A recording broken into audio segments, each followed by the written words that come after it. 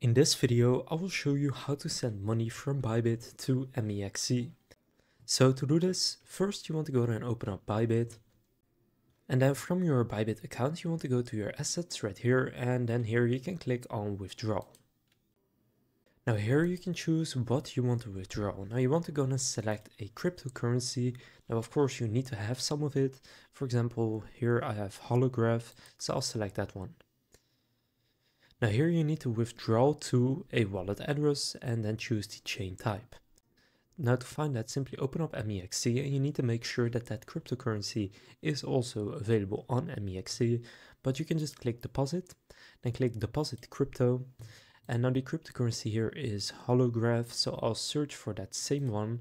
So here it says select crypto and I'm just going to type in the same cryptocurrency. Now this one happens to not be listed on MEXC. So I'll just pick this one then, Venom. And that one is listed. So I'll just take Venom. Now for the network, you can see it's set to Venom. That means that on Bybit for the chain type, you need to select the same ones. So in this case, Venom.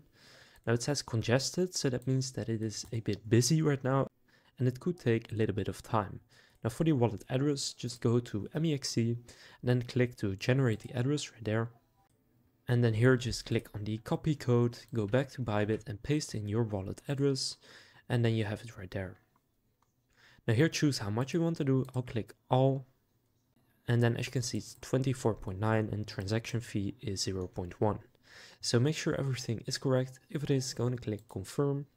And now here again, make sure it's correct and then click submit. And then if you have this turned on, you will need to verify your email address and then enter your Google two-factor authentication code and then click next step. Then after you do that, it will say withdrawal application submitted and then click confirm and now the money will be on its way to your MEXC account.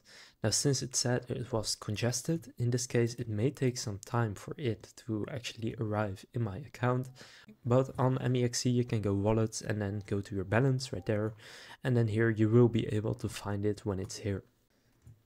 So now you know how to transfer money from Bybit to MEXC.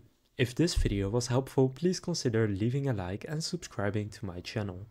And with that being said, I will see you in the next video.